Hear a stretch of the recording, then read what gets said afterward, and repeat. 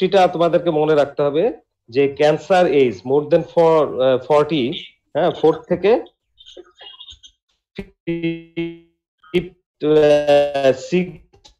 বা সেভেন ডিকেডে কেউ যদি more than three weeks persistent change of voice থাকে,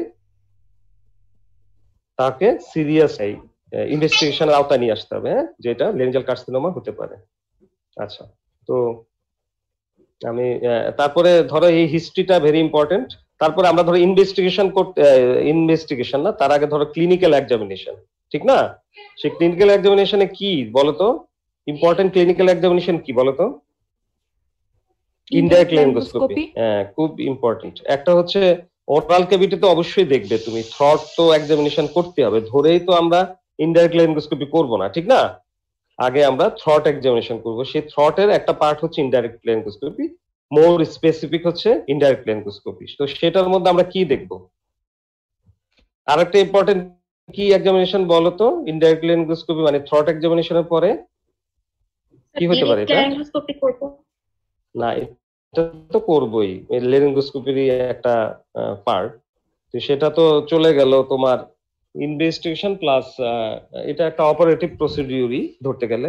সেটা হচ্ছে ন্যাক examination.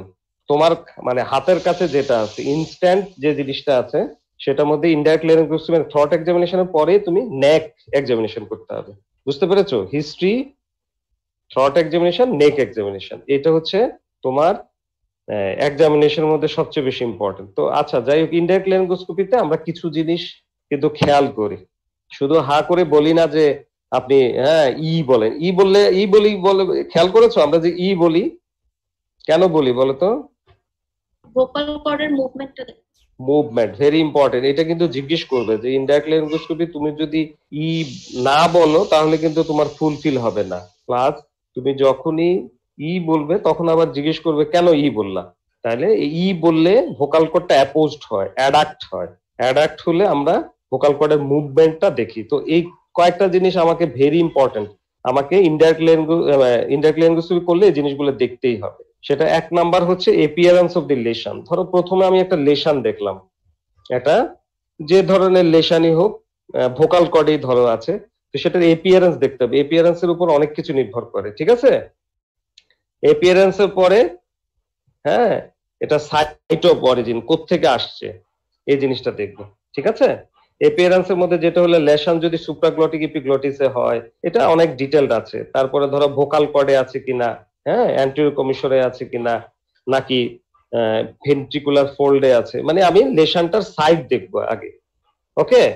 Appearance of the lesion, তারপরে হলো এপিয়ারেন্স মানে কি? আমরা লেশন কয় ধরনের হয়, জানো তোমরা? কিছু আছে এক্সোফাইটিক কিছু আলসারেটিভ কিছু আছে ঠিক আছে? এটা বুঝতে পারছ? কিছু আলসারেশন নিয়ে গ্রোথ আছে কিছু আছে তোমার ওভার গ্রোথ থাকে এরকম জাস্ট ইয়ার মতো ধরো পলিপের মতো হ্যাঁ? তো এই এপিয়ারেন্সটা ভেরি ইম্পর্টেন্ট আলসারেটিভ গ্রোথ হলে আমরা একরকম চিন্তা করি যে বেশি এগ্রেসিভ তারপর এক্সোফাইটিক হচ্ছে উপরে তোমার আলসারেশন থাকবে না উপরের লেয়ারটা ইয়েটা মিউকোসার ইনটেক থাকবে এটা নিচে গ্রোথ থাকে। তো এক্সোফাইটিক গ্রোথ না আলসারেটিভ গ্রোথ এগুলি আমাদেরকে দেখতে হবে। আর লেশনটা সাইট অফ অরিজিন ঠিক আছে? লেশনটা appearance appearance of the lesion site of the lesion এই দুইটা জিনিস ফার্স্ট টাইম দেখবে। হ্যাঁ বলো। স্যার সরি স্যার স্যার আমাদের কয়েকজন স্যার জয়েন করা মানে হয় নাই। স্যার তখন থেকে স্যার ওয়েট করতেছে। কিন্তু আমি তো ইনভাইট অল দিয়ে দিলাম। স্যার কয়েকজন বাদ পড়ে গেছে স্যার বুঝতে পারিনি। তখনই তো হয়ে যাওয়ার কথা।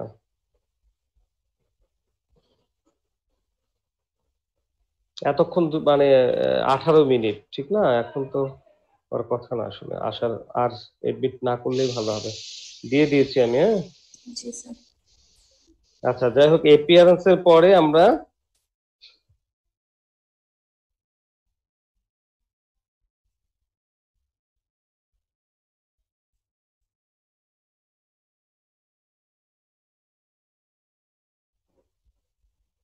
হ্যাঁ। এপিয়ারেন্স এর পরে আমরা চলে যাব থেকে এসছে। আর একটা হলো এক্সটেনশন ধরো ভোকাল কর্ডে একটা গ্রোথ হলে এটা তো সুপ্রাগ্লটিসে যেতে পারে, আবার সাবগ্লটিসও যেতে পারে। পারে না? তো সেটাও আমরা দেখব ইন্ডাইরেক্ট ল্যাঙ্গুয়েজ হ্যাঁ তাহলে এপিয়ারেন্স অফ দি লেশন দেখব। আর লেশনটা কোথেকে অরিজিন হয়েছে? কোথায় গেল? বুঝা গেছে? তিনটা জিনিস বেশি ইম্পর্টেন্ট এই দেখো, এখানে চলে আসছে সিতে চলে আসে। এক্সটেন্ট অফ ডিজিজ হ্যাঁ ভোকাল কর্ড মুভমেন্টটা পরে বলি। তাহলে এপিয়ারেন্স দেখলা, তারপর extent of disease speed of disease to vallecula base of the tongue pyriform fossa এইসব জায়গায় যে অ্যারাউন্ডিং যে এরিয়া গুলো আছে, যেখানে যেখানে যেতে পারে, এটা তো লাভ দিয়ে ইয়েতে যাবে না। তোমার নোজে তো আর যাবে না, যাবে কোথায়? আশেপাশে বেজ অফ দ্য টাং ঠিক আছে? ভেলিকুলা পাইরোম ফোসা তো ওইসব জায়গায় এক্সটেনশন আছে কিনা, ঠিক আছে? তাহলে এপিয়ারেন্স দেখব সাইট অফ অরিজিন দেখব এক্সটেনশন অফ দি ডিজিজ দেখব, এই তিনটা জিনিস ফার্স্ট টাইম ওকে? তারপরে চলে আসবে vocal cord movement vocal cord movement খুবই একটা ইম্পর্টেন্ট থিং কেন? ইম্পেয়ারমেন্ট অথবা fixation of the vocal cord indicate the deeper infiltration এটা তুমি মনে রাখবে যে site of lesion appearance of the lesion extension of the লেশনের পরে আমরা দেখি, ওই যে ই বলি, প্রথমে আমরা ভোকাল কর্ড ইন্ডিয়ার ধরে প্রথমে আমরা দেখি একটু ঘুরিয়ে। আমাদেরকে দেখছ কিনা জানি না। এই তিনটা জিনিস দেখার পরে রুগীকে বলি ই বলেন। তার মানে আমি তখন চলে যাই vocal কর্ডের movement movement is very important এটা ভোকাল কর্ডের লেশন হোক আর সুপ্রাগ্লোটিক লেশন হোক আর সাবগ্লোটিক লেশন হোক। তোমাকে ভোকাল কর্ডের মুভমেন্ট মানে ই বলতেই হবে। ভোকাল কর্ডের মুভমেন্ট মানে হচ্ছে লেশনটা ডিপ এক্সটেনশন ডিপ এক্সটেনশন হলেই কি হয়? ডিপ এক্সটেনশন হলে আমাদেরকে ই এর জন্য মানে ট্রিটমেন্টের ব্যাপারে আমাদেরকে কি করতে হয়? আমাদেরকে একটু এগ্রেসিভ হতে হয়। হ্যাঁ এবং ভোকাল কর্ড ইনভলভমেন্ট বা ভোকাল কর্ড ফিক্সেশন মানে হচ্ছে গ্রেড থ্রি বুঝতে পারছ? কার্সিনোমা লেভেল থ্রিতে চলে যায় কমপক্ষে। হ্যাঁ তো যাই হোক, এটা পরে আবার আমরা ইয়েতে যাব। তো এখন আসো। তাহলে ভোকাল কর্ডের মুভমেন্ট দেখতে হয় কেন? Indicates the deeper infiltration into the thyro aerotonate muscle, cric aerotonate joint, and invasion of the recurrent laryngeal nerve is an important sign. vocal cord যদি রেস্ট্রিক্টেড হয় তাহলে কি হয়? একটা হইতে পারে যে গ্রোথটা ধরো ডিপ ইনফিল্ট্রেশন হলো। সে কারণে হ্যাঁ এটা মুভ করতে পারছে না। আরেকটা হইতে পারে যে laryngeal recurrent laryngeal nerve involve করলে তো ভোকাল কর্ড মুভ করে না ঠিক না? তাহলে ওইটাও আমরা বুঝতে পারব। আর ডিপার ইনফিল্ট্রেশন মুভমেন্ট যখন হয়, তখন আমরা চিন্তা করব যে এটা থাইরো এরিটনেট মাসল অথবা ক্রিক এরিটনেট জয়েন্টকে এই কথাটা তোমাকে বলতে হবে যে মুভমেন্ট কেন হচ্ছে না ভোকাল কর্ডের তখন দুইটা জিনিস বলবা। একটা হচ্ছে হয়তোবা রিকারেন্ট ল্যারেঞ্জিয়াল নার্ভ ইনভলভমেন্ট হয়েছে অথবা ক্রিক এরিটনেট জয়েন্ট ক্রিক এরিটনেট জয়েন্টটা কি হচ্ছে? এটা ফিক্সড হয়ে গেছে ইউজুয়ালি অথবা থাইরোয়েরিটনেট মাসলকে ইনভলভ করছে। এই তিনটা জিনিস তোমাদের মনে রাখতে হবে। আমি কি বোঝাতে পেরেছি? ইনডাইরেক্ট লেরিঙ্গোস্কোপি হ্যালো জি স্যার।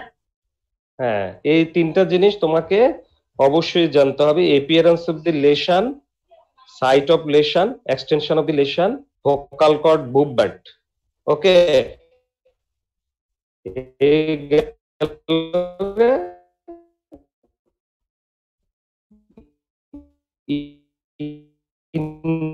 indirect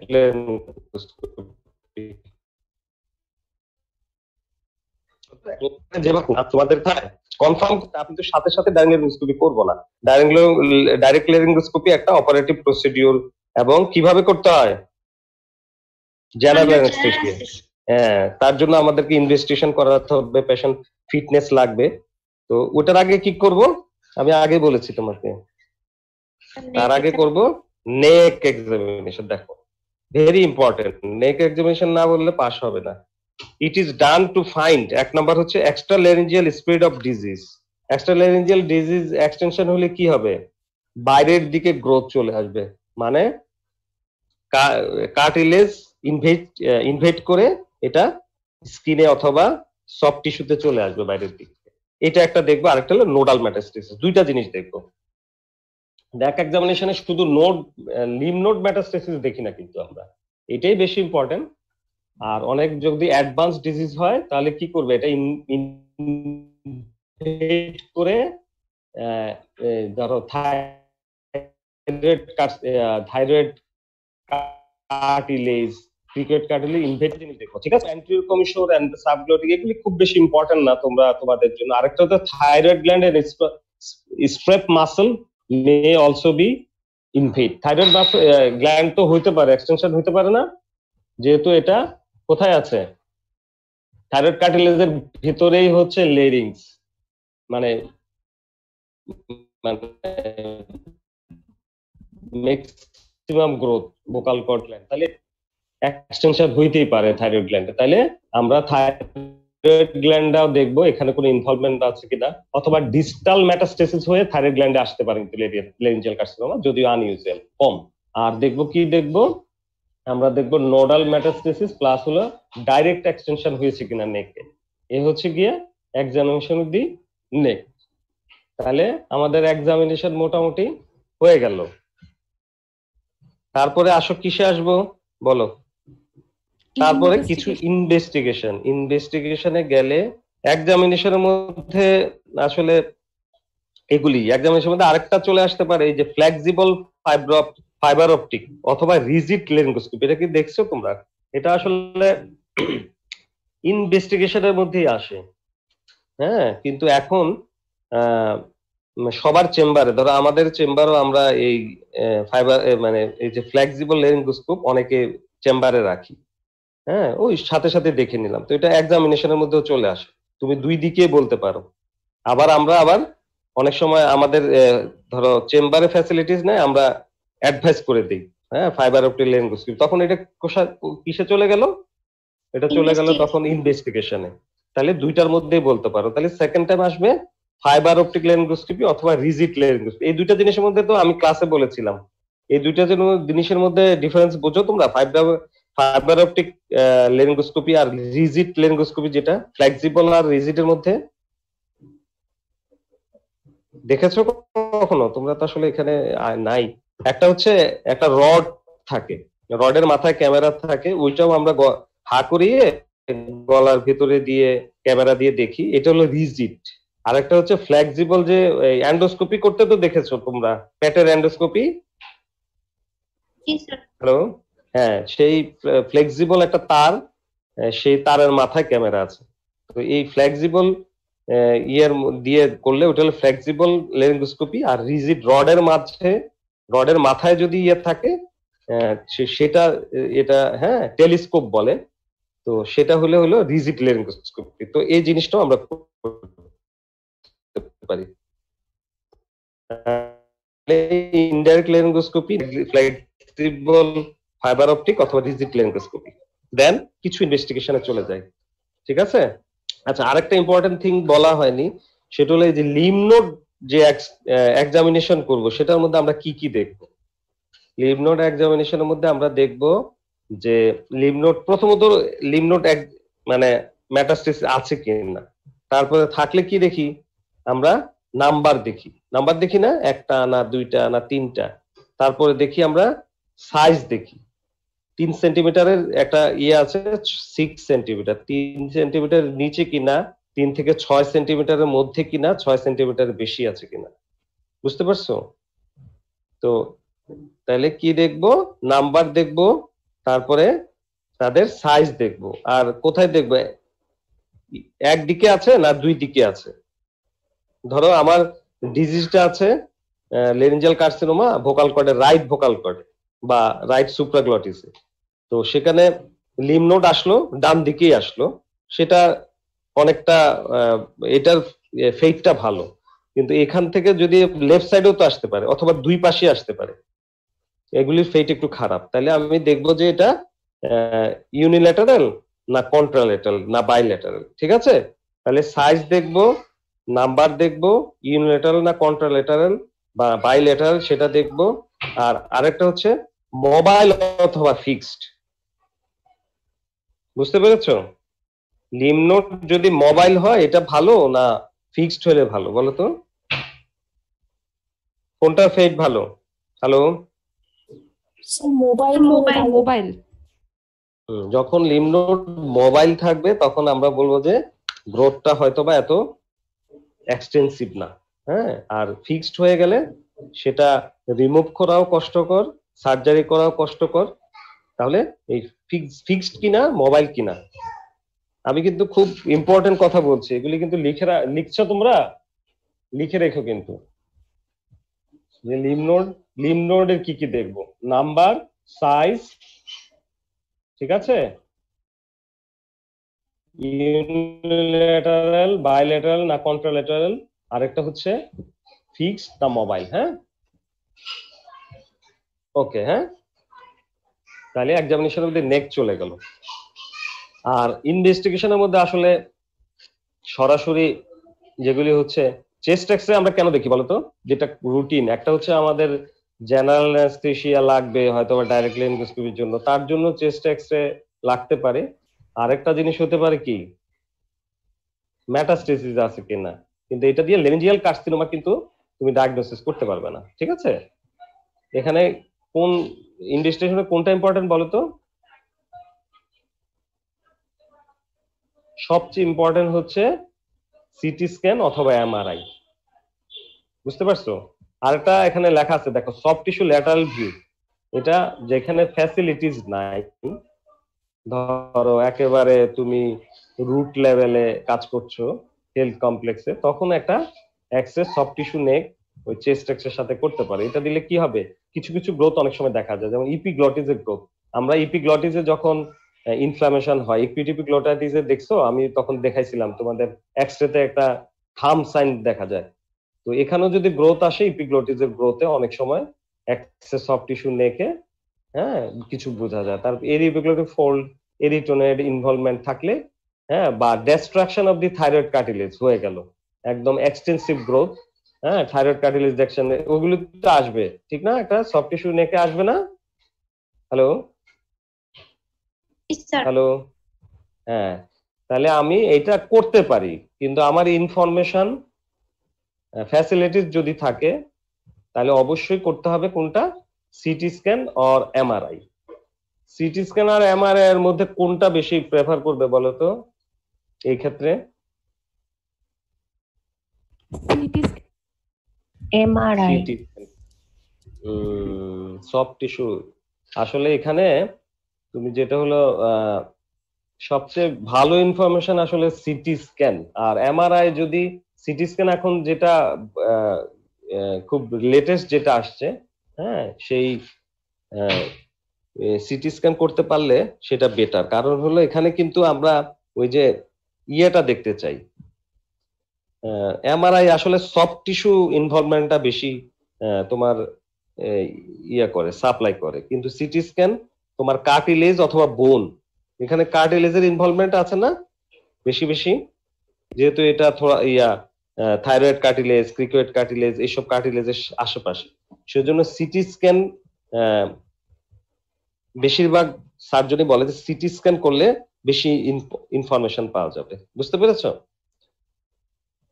তো এটা সবচেয়ে useful investigation to find the extent of the কি কি দেখার জন্য। এটা হলো এক্সটেন্ট অফ টিউমার তারপর invasion of the pre epiglottic paraglottic space destruction of the cartilage cervical lymph node involvement এই সবগুলো জিনিস আমাদের একটা টাইম দেখতে পারি। গ্রোথটা কোথায় আছে? গ্রোথের এক্সটেনশন কার্টিলেজ ইনভলভমেন্ট আছে কি না? পাশাপাশি কি দেখি? সেটা হলো লিমনোড লিমনোডের কয়টা আছে? কি সাইজ সবই সিটি স্ক্যানে চলে আসে। বুঝতে পারছ? আর এমআরআইও আমরা করতে পারি। এমআরআইও মোটামুটি ইনফরমেটিভ তবে CT scan is more important CT স্ক্যানে কি কি দেখি, সেটা কিন্তু তোমাদেরকে জানতে হবে। এখানে কিন্তু লেখা আছে।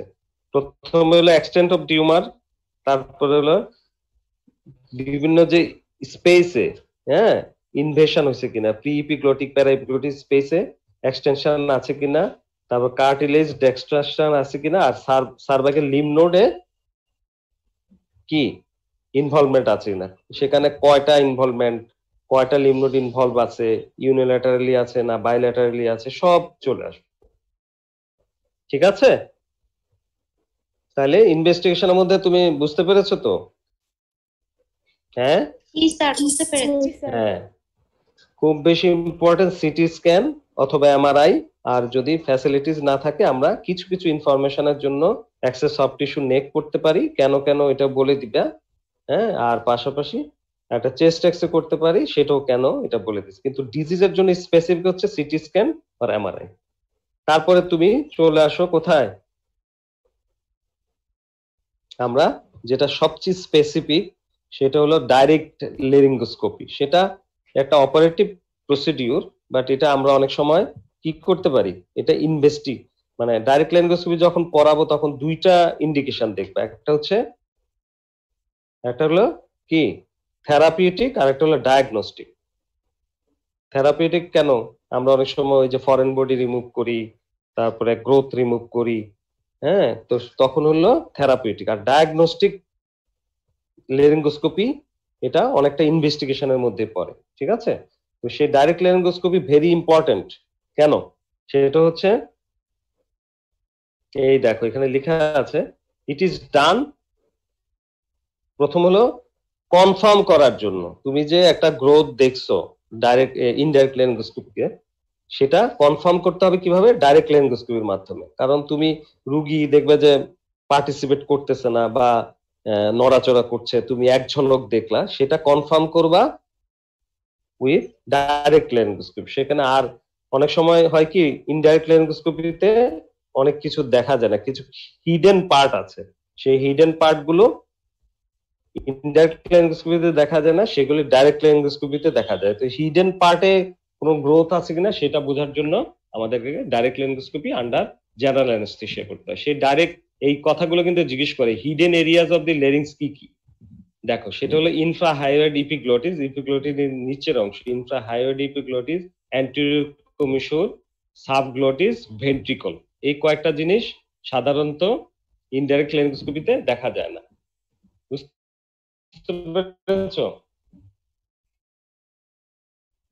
তো এই এই কথাগুলো লিখে রেখো। কিন্তু জিজ্ঞেস করবে যে তুমি কি দেখছ? এখানে কি কি দেখা যাবে না?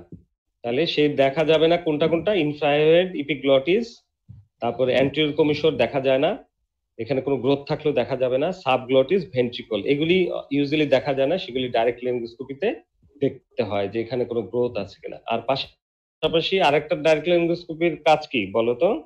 সেটা হলো কনফার্ম করব, আমরা গ্রোথটা ঠিকই কিনা আলসারেটিভ কিনা, বা এটার এক্সটেনশনটা আমি হ্যাঁ এক্সটেনশনটা ডাইরেক্ট লেঙ্গোস্কোপি ভালো করে দেখব।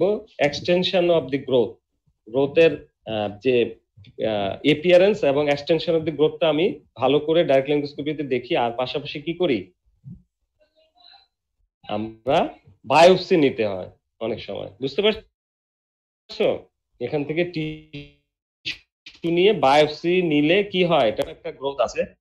সেটা কিন্তু ভোকালকোট পলিপুর সময় গ্রোথের মতো লাগে হ্যাঁ? বা ওই যে ভেরুকাস আলসার হতে পারে। তো সেক্ষেত্রে আমরা এটা কনফার্ম করব কীভাবে? উইথ ডাইরেক্ট লেরিঙ্গোস্কোপি বুঝা গেছে? হ্যালো জি স্যার। জি স্যার। হ্যাঁ। আরও কিছু জিনিস আছে মাইক্রো লেরিঙ্গোস্কোপি মানে আবার ওই সুপ্রাভাইটাল স্টেনিং তো এটুকু এগুলি তোমাদের দরকার নাই। তোমরা এতটুকু জানো যে আমরা কনফার্ম করব ডাইরেক্ট লেরিঙ্গোস্কোপি ডাইরেক্ট লেরিঙ্গোস্কোপি কেন করব? এই এই এই এক্সটেনশন এবং ডিজিজটা দেখার জন্য আরেকটা হচ্ছে হিডেন এরিয়াজে কোনো লেরিঞ্জাল গ্রোথ আছে কিনা। আর আমরা এখানে বায়োপসি নেব। আচ্ছা বুঝা গেছে?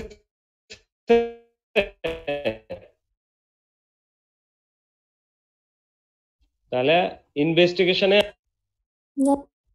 আচ্ছা আচ্ছা এখন আমরা চলে যাই কারণ অনেক বেশি সময় দেয়া যাবে না হ্যাঁ? তোমরা ট্রিটমেন্ট ট্রিটমেন্ট তোমাদেরকে খুব বেশি ধরবে না। ট্রিটমেন্ট অপশনটা তোমরা জানো। আর আমি একদম ওভারঅল যে ট্রিটমেন্টটা যেটা বললেই মানে মোটামুটি পার পেয়ে যাবে ওটা আমি বলে দিব হ্যাঁ? ট্রিটমেন্ট অপশন কি আছে লেনিজাল কার্সিনোমা তোমাদের কি জানা আছে ট্রিটমেন্ট অপশন কি আছে? হ্যাঁ? কেউ কি বলতে পারো ট্রিটমেন্ট অপশন অপশন কি কি আছে? বা মানে আত্মীয় স্বজনের কখনো লেরিঞ্জাল কার্সিনোমা হয় নাই? হুম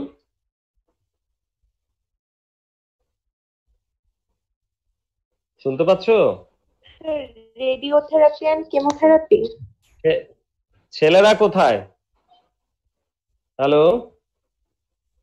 ছেলেদের কোনো সাউন্ড নেই কেন? হ্যাঁ? কি? সবার সবাই পিছিয়ে যাওয়ার ধান্দা নাকি? পাশও ওরা বেশি করে। হ্যাঁ মেডিকেল কলেজও টিকে বেশি। কয়দিন পরে তো ওদের আন্ডারে চাকরি করতে হবে, বুঝতে পারছ? আওয়াজ টাওয়াজ দাও। পাশও কিন্তু আওয়াজের উপর নির্ভর করবে। মাথা নামিয়ে রাখলে, গলার আওয়াজ শোনা না গেলে পাস হবে না কিন্তু। আচ্ছা যাই হোক, দেখা যাক। আর যেটা হলো তোমাদের ইম্পর্টেন্ট থিং হচ্ছে তুমি যে ট্রিটমেন্ট করতে গেলে তুমি কেমোথেরাপির নাম বলেছ কেমোথেরাপিটা খুব একটা বেশি ইউজ হয় না। রেডিওথেরাপি সার্জারি কিছু কিছু ক্ষেত্রে কেমোথেরাপি আমরা ইউজ করি। বুঝতে পেরেছ? রেডিওথেরাপি আর সার্জারি দুইটাই বেশি বড় অপশন তোমাদের তারপরে আমি আরও বলে দিচ্ছি। কিন্তু সবচেয়ে বড় কথা হলো, আমরা যখন ট্রিটমেন্টে যাব ট্রিটমেন্ট কয়েকটা জিনিসের উপর ডিপেন্ড করে। যে আমি ট্রিটমেন্ট জিনিস ফলো করি, সেটা হলো এই দেখো কি কি? একটা হচ্ছে সাইট অফ লেশন কোথায়? এটা ভোকাল কর্ডে না সুপ্রাগ্লটিসে না সাবগ্লটিসে extent of lesion extent of lesion কেন? গ্রোথটা কত বড়? অন্য কোনো সাব সাইটে চলে গেছে কিনা? বা এক এরিয়া থেকে আরেক এরিয়াতে চলে গেছে কিনা? কার্টিলেজ ইনভলভমেন্ট আছে কিনা?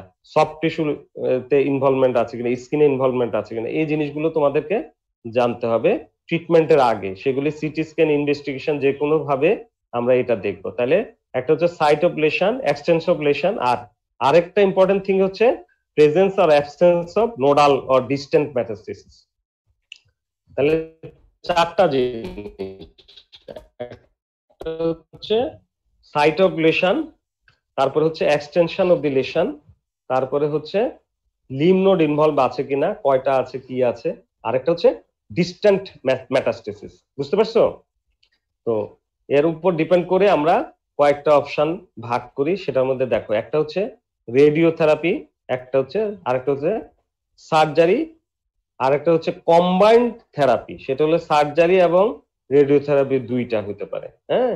আরেকটা হচ্ছে তোমার যেটা হচ্ছে অ্যান্ডোস্কোপিক, এটাও সার্জারির মধ্যে চলে, যে কার্বন ডাইঅক্সাইড লেজার দিয়ে আমরা ছোট গ্রোথ থাকলে আমরা রিমুভ করি। সেটা সার্জারির মধ্যে বলতে পারো। তাহলে তুমি ট্রিটমেন্ট অপশন কি কি জিনিসের উপর ডিপেন্ড করে এটা জানবে। আর ট্রিটমেন্ট অপশন আছে একটা হচ্ছে রেডিওথেরাপি একটা হচ্ছে সার্জারি আর একটা হচ্ছে কম্বাইন্ড রেডিওথেরাপি আর সার্জারি এই চারটা জিনিস।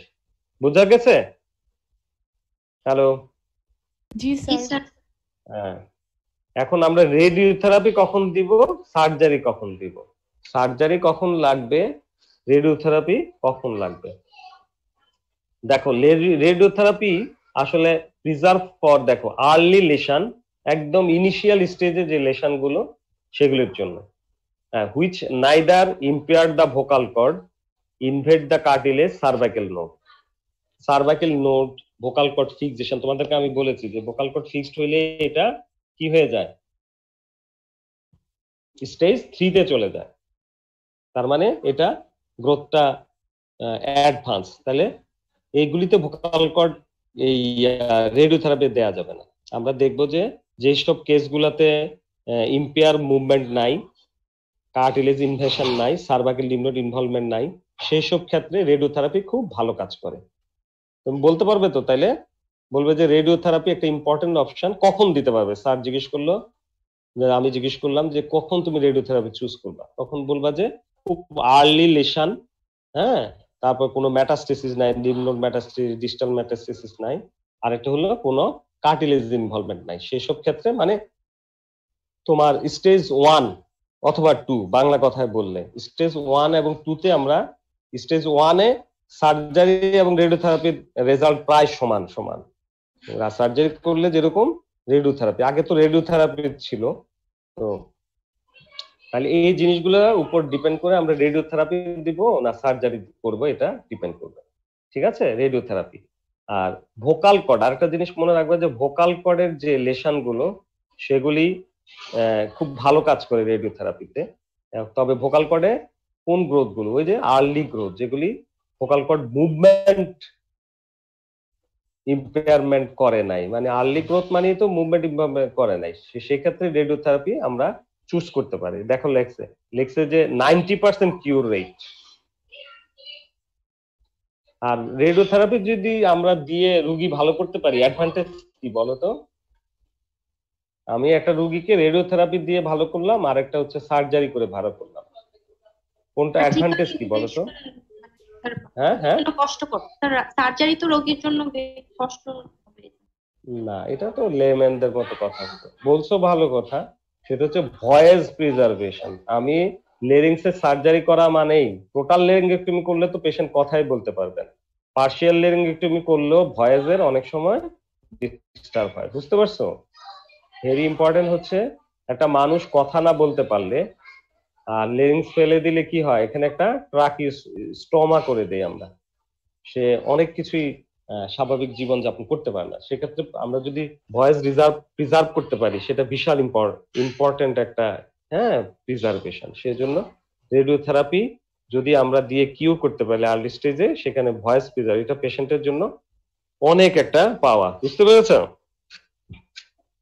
আচ্ছা তাহলে এখানে আমরা কোন কোন ক্ষেত্রে দিতে পারি? তাহলে বলবা যে ইউজুয়ালি ভোকাল কর্ডের আর্লি লেশন যেখানে ভোকাল কর্ডের মুভমেন্ট নাই ইনভলভমেন্ট হয় নাই মানে মুভমেন্ট ইনভলভমেন্ট হয় না। আর একটা সুপ্রাগ্লটিক লেশনেও যেমন ইপিগ্লটিস আছে টি মানে আর্লি স্টেজে সুপ্রাগ্লটিক হ্যাঁ সেখানেও ভালো রেজাল্ট তাহলে রেডিওথেরাপি আমরা আর্লি স্টেজ সাবগ্লটিকে খুব একটা রেডিওথেরাপি ভালো কাজ করে না হ্যাঁ? সাবগ্লটিক এক্সটেনশনে ভালো হয় না। সুপ্রাগ্লটিক একটা হলো ভোকাল কর্ডের আর্লি লেশন এবং সুপ্রাগ্লটিক আর্লি লেশনে খুব ভালো কাজ করে। সেক্ষেত্রে ভোকাল কর্ডে হলে নাইনটি পার্সেন্ট কিউর রেট আর সুপ্রাগ্লটিসে সেভেন্টি টু নাইনটি পার্সেন্ট যদি স্টেজ ওয়ান এবং কিছু কিছু ক্ষেত্রে স্টেজ টু হয় আর কি হ্যাঁ? আর সার্জারি দেখো সার্জারির মধ্যে ব্যাপার আছে তুমি যখন সার্জারি বলবা তখন আবার জিজ্ঞেস করবে কি কি সার্জারি করে। তোমরা তো একটা জানোই লেরিঙ্গেক্টমি নাম শুনেছো তো? হ্যাঁ?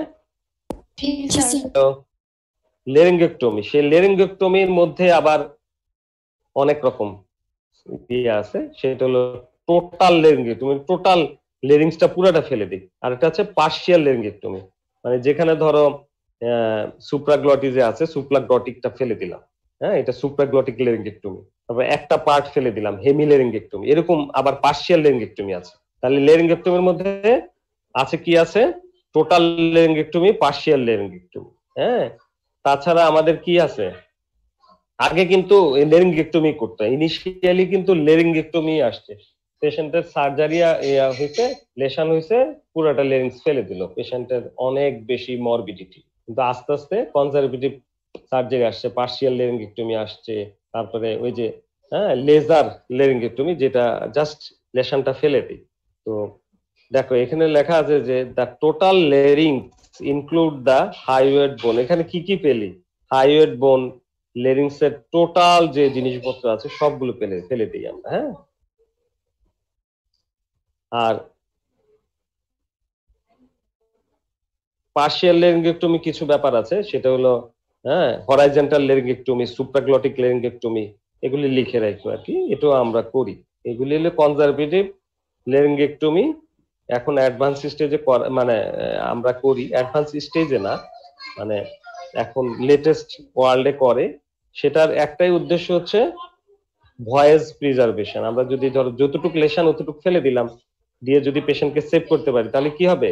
পেশেন্টের ভয়েসটা প্রিজার্ভ থাকল তো এর মধ্যে পার্শিয়াল লেরিঙ্গেক্টমি আর হলো টোটাল লেরিঙ্গেক্টমি ঠিক আছে? তাছাড়া আরও কিছু কনজারভেটিভ সার্জারি আছে। কীরকম বলো তো? পার্শিয়াল লেরিঙ্গেক্টমি ছাড়া। ধরো আমার ভোকাল কর্ডে এই যে extension of the vocal cord after splitting the larynx এটা কর্ডেক্টমি বলে। জাস্ট ভোকাল কর্ডটা ফেলে দিলাম কর্ডেক্টমি হ্যাঁ? তারপর excision of the vocal cord anterior commissure হ্যাঁ সেটাকে বলে ফার্সিয়াল পার্শিয়াল ফ্রন্টোল্যাটারাল লেরিঙ্গেক্টমি বুঝতে পারছ? তাহলে এই এই যে আরেকটা আছে পার্শিয়াল হরাইজন্টাল লেরিঙ্গেক্টমি একটু আগে আমি বলেছি। তাহলে কনজারভেটিভ লেরিঙ্গেক্টমি কি আছে?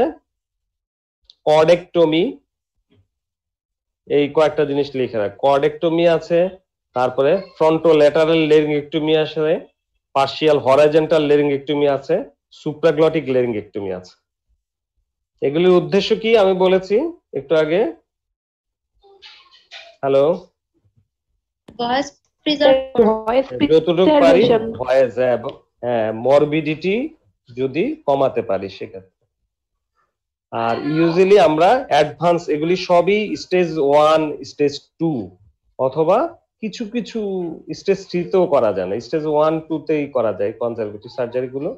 আর থ্রি ফোরে সাধারণত আমরা টোটাল লেরিঙ্গেক্টমি করি। ওখানে তোমার রেডিওথেরাপি খুব একটা কাজ করে না। তো সেই টোটাল লেরিঙ্গেক্টমিতে আমরা কি ফেলি বলতো? টোটাল মানে লেরিংস এর যা আছে তাই ফেলে দিই ঠিক আছে? সাথে আশেপাশে হাইওড বোন ফেলি, তারপর সামনে যে thyroid thyroid gland usually hemithyroidectomy করি, কিছু কিছু ক্ষেত্রে কি করি? পুরো থাইরয়েড ফেলে দিই। সাথে ভেরি ইম্পর্টেন্ট হচ্ছে নেক ডিসেকশন ঠিক আছে? ট্রাকিয়া থেকে শুরু করে আমরা হাইওয়েড বোন পর্যন্ত পুরোটা ফেলে দিই। সাথে কিছু কিছু স্টেপ মাসল হ্যাঁ? দেখো include the hyoid bone preepiglottic space strap muscle and one on more tracheal ring পর্যন্ত আমরা ফেলে দিই। স্ট্রেপ মাসেলের কিছু অংশ, তারপরে হাইওয়েড বোন প্রিপিগ্লোটিক স্পেস এবং ট্রাকিয়াল রিং এরও কিছু অংশ ফেলে দিই। বুঝতে পেরেছ? এখন দেখো টোটাল লেরিঙ্গেক্টমি আমি কি বলছি? কখন করি? স্টেজ? বাংলা কথা তুমি বলে দেবা স্টেজ থ্রি আর ফোর আর স্টেজ ওয়ান টু তে কি করি বলো তো? রেডিওথেরাপি রেডিওথেরাপি অথবা কনজারভেটিভ যে সার্জারি গুলো আছে।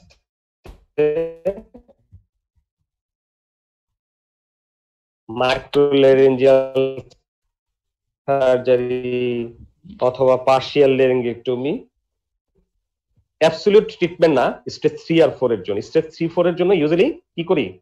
টোটাল লেরিঙ্গেক্টমি করি এবং ফলোড বাই কিছু কিছু ক্ষেত্রে যদি আমরা টোটাল রিমুভ না করতে পারি, সেক্ষেত্রে আমরা সাথে রেডিওথেরাপি অ্যাড করি। কিন্তু ট্রিটমেন্টটা হচ্ছে টোটাল লেরিঙ্গেক্টমি বুঝা গেছে?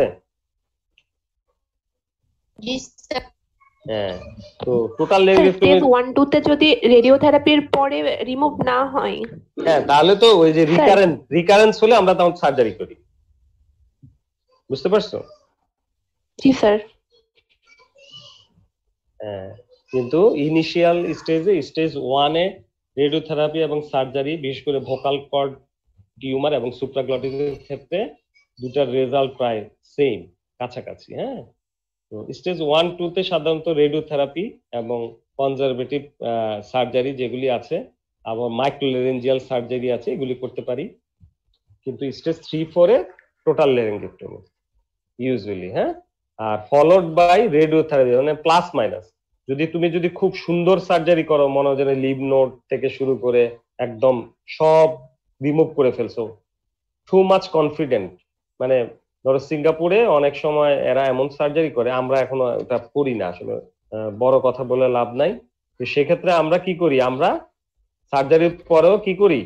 মাইক্রো যদি কোনো লেশন থেকে থাকে, তার, সেটা রিমুভের জন্য কি করি?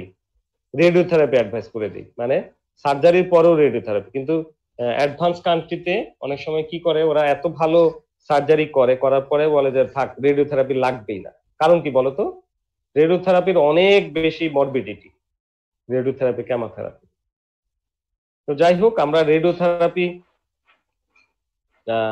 অনেকগুলো রেডিওথেরাপির কিছু ইয়ে জেনে রাখব আর কি সাইড এফেক্ট আচ্ছা যাই হোক টোটাল লেরিঙ্গেক্টমি কখন করি? আমি বলে দিচ্ছি না যে অল এই দেখো stage three lesion stage four lesion. হ্যাঁ আর, আরেকটা হচ্ছে আরও কিছু জিনিস, দেখো স্টেজ ফোর এগুলি স্টেজ ফোরে পড়ে, যেমন কার্টিলেজ ইনভলভ হয়ে গেল। থার্ড কার্টিলেজ ইনভলভ হলে স্টেজ ফোরই আসলে। তো স্টেজ থ্রি ফোরও যদি তোমরা বলো তাহলে হয়ে যায়। তারপরে বলবা যে কার্টিলেজ ইনভলভমেন্ট থাকলে পোস্টের কমিশনে ইনভলভ থাকলে ট্রান্সগ্লোটিক গ্রোথ থাকলে, এবং রেডিওথেরাপি ফেল করলে, তুমি ওই যে দেখো, তুমি তুমি যে কোশ্চেনটা করেছিলে, সেটা লেখা আছে। ফেলার আফটার দ্য রেডিওথেরাপি অথবা কনজারভেশন সার্জারি পেয়েছ না? উত্তর পেয়েছ? জি হ্যালো স্যার। জি হ্যাঁ স্যার। তার মানে জি স্যার। হ্যাঁ স্টেজ ওয়ান টু তে রেডিওথেরাপি দিলে এটা আবার ফেল করল বা ছয় মাস পরে আবার হলো তাহলে তখন সার্জারি করে ফেলি হ্যাঁ? তো এই জিনিসটা বলবা টোটাল থাইরয়েড এই লেরিঙ্গেক্টমির ইন্ডিকেশন স্টেজ থ্রি ফোর পাশাপাশি যদি থাইরয়েড পিকয়েড কার্টিলেজ ইনভলভমেন্ট থাকে বায়োলেটার এজ কার্টিলেজ ইনভলভমেন্ট থাকে পুষ্টির কমিশন ইনভলভমেন্ট থাকে তারপরে সবচেয়ে ইম্পর্টেন্ট হচ্ছে যেটা মনে রাখার মতো ফেইলার অফ দি রেডিওথেরাপি অথবা কনজারভেশন সার্জারি আর ট্রান্সগ্লোটিক গ্রোথ আর ওভারঅল যদি কিছুই মনে না থাকে বলব যে স্টেজ থ্রি ফোর ঠিক আছে? স্যার রেডিওথেরাপির একটা ডোজ কমপ্লিট হওয়ার পরে কি আবার আবার দেওয়া যাবে? যদি ঠিক না হয় হ্যাঁ, এটা মানে রিমুভ না হ্যাঁ, হয়? হ্যাঁ সেটার একটা ইয়ে আছে সিক্স মান্থ এর মধ্যে যদি গ্রোথ অনেক বেড়ে যায় তুমি তো বসে থাকতে পারবে না। তখন তুমি সার্জারিতে চলে যাবে। বুঝতে পারছ? ছয় মাসের মধ্যে আবার রেডিওথেরাপি দেয়া যায় না। তো মোটামুটি এই আর কি হ্যাঁ? জি স্যার। মোটামুটি মোটামুটি বলতে পারবে না? আমি কিন্তু খুব সুপারফিশিয়াল তোমাদেরকে পড়িয়েছি এবং খুব ইম্পর্টেন্ট যে জিনিসগুলো যেগুলি পরীক্ষা ধরবো বলে দিলাম। আমার মনে হয় কাজ যারা যারা করেছিল কো- করেছ শুনেছো তাদের অসুবিধা হবে না হ্যাঁ? আজকে তাহলে আর ইয়ে ধরবো না আমরা সুফেগাস শুরু করব সামনের ক্লাসে হ্যাঁ? সামনের ক্লাসে মাসুদ নিবে ইয়ার। তোমাদের কোনো কোশ্চেন আছে? কিছু ইয়ে করবে? কিছু জানার আছে? হ্যালো হ্যালো শুনতে পাচ্ছ? জি স্যার শুনতে পাচ্ছি। হ্যাঁ কিছু কিছু ইয়ে করবে? হ্যালো না স্যার।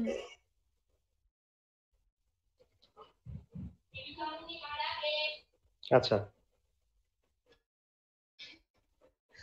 প্রত্যয় প্রত্যয় এই স্ক্রিনশট আচ্ছা ইয়া ইয়েতে তো কোনো সমস্যা নাই না? হ্যালো জি স্যার মানে লেরিঞ্জাল কার্সিনোমাতে আর কোনো সমস্যা নাই তো? না স্যার তাহলে নেক্সট নেক্সটে আমরা ইয়ে করব। ইসোফেগাস তোমরা একটু দেখে নিও ঠিক আছে? ওকে স্যার তাহলে সামনের ক্লাসে মাসুদ হ্যাঁ মাসুদকে ইয়ে করো একটু নক করো। মাসুদ ইয়ার পড়াবে তার ইয়ের পরে আবার এনাম পড়াবে ইয়ার। তো সে পর্যন্ত ভালো থাকো ঠিক আছে? পার্সেন্টেজটা কি আপনাকে পাঠিয়ে দিব। আমি তো ইয়েতে নিয়ে নিলাম স্ক্রিনশট নিয়ে নিয়েছি। ঠিক আছে? পাঠাতে হবে না হ্যাঁ? কিন্তু তোমাদের অনেকেরই মাইক অফ দেখতে পাচ্ছি আমি হ্যাঁ।